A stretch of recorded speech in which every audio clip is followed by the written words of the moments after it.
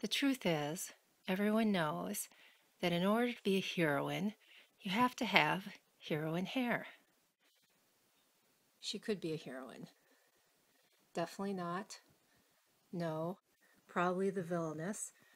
This could be the sassy best friend. She's a heroine. Definitely a heroine.